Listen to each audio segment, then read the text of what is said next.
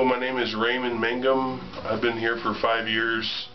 I started coming here because of back pain and they fixed me up really well and I come now once a month.